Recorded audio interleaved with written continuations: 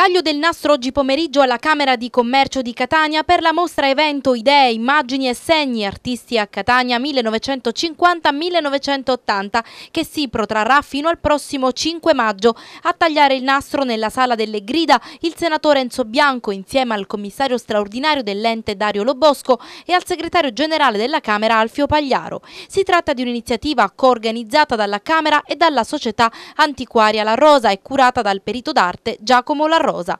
La selezione di circa 130 tra quadri e sculture per un mese trasformeranno il Palazzo della Borsa in una vera e propria sede di storia e arte. In mostra 30 anni di storia del nostro Novecento, letta attraverso il talento dei pittori e degli scultori catanesi. Il nome originario della Camera di Commercio era quello di Camera di Commercio ed Arti il valore della cultura è un valore di bene inestimabile non solo per noi ma per le future generazioni.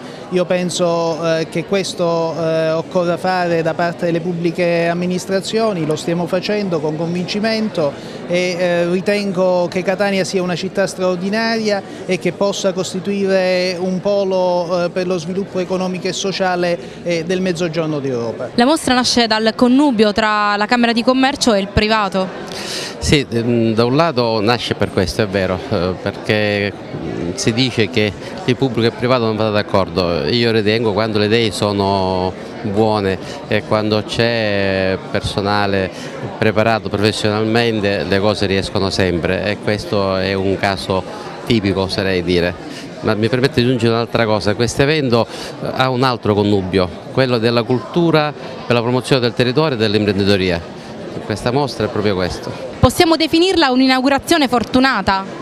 Sì, senz'altro, ne siamo orgogliosi perché è una cosa importante soprattutto per Catania, per quello che rappresenta per Catania e che potrebbe rappresentare per Catania culturalmente e, e non solo, ma anche eh, un inizio per altre nuove manifestazioni che portano sempre cultura e promuovono Catania da questo punto di vista.